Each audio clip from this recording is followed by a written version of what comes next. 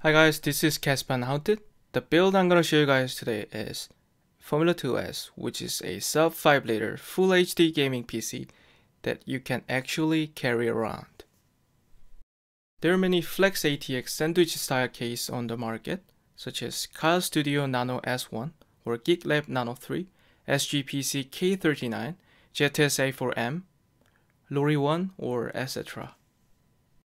And Formula 2S is basically the best Flex ATX sandwich side case you can get. Its screwless design, mechanical tolerance, and surface treatment quality is the best in class.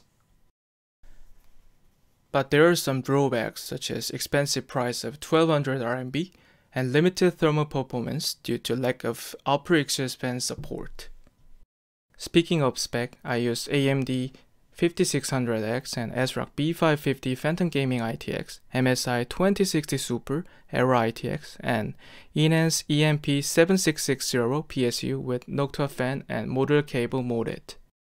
And I will end this video with actual footage of 4HD and 4K gaming so that you guys can see thermal and noise performance. If you guys have any question, just leave a comment. I will help you guys as much as I can and I hope you guys enjoyed this video. Thank you.